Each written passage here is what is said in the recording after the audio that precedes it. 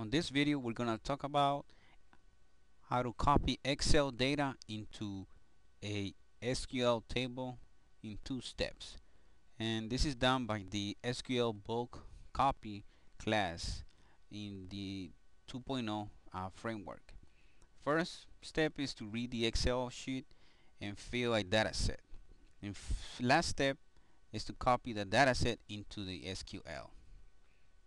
And here's the show you the SQL.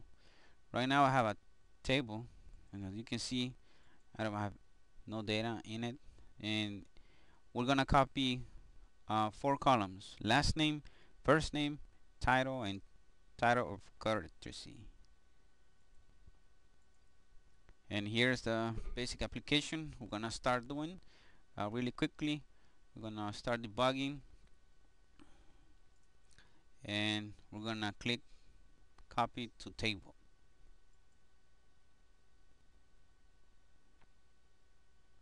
As you can see uh, we have the Excel information into uh, data grid view and all of this data went into the SQL table. Let's check it if it work. Select statement. As you can see all the information went into with no problems. Now this is how I did it. Really simple and quickly.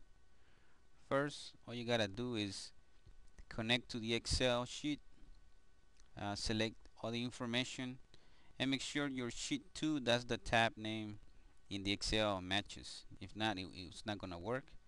And then use the adapter to fill the data set and then bind the grid and then the last step is to create a new connection to the SQL uh, server and pass name your destination table.